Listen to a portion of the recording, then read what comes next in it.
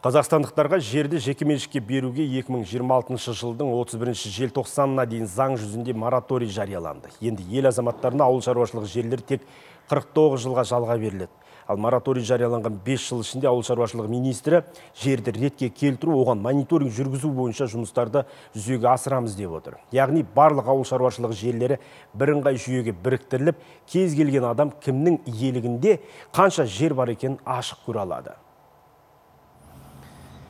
Жерді 49 жылға жалға алған адам оны пайдаланбаса, онда ол жерді үкіметтің қатысуынсыз өзге шаруаға жалға бере алады.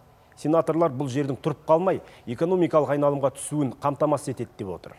Ал бұрын соңды жерге әкімдіктер жауапты болса, бүгін бұл міндет заң жүзінде ауыл шаруашылығы министрлігіне қайтарылды.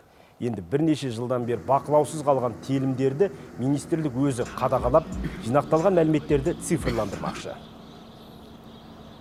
жердің мына топырақтығын құнарлылығын және геоботаникалық зерттеулер жүргізіп сол жер, жердің сапасын түсініп алу керек болды. 57 миллион гектар жерді тексеріп бітірдік. Жердің сапасын білу жаңағы жердің кейінгі кезде сатуға кадастрлық бағасын айқындауға бізге мүмкіндік береді.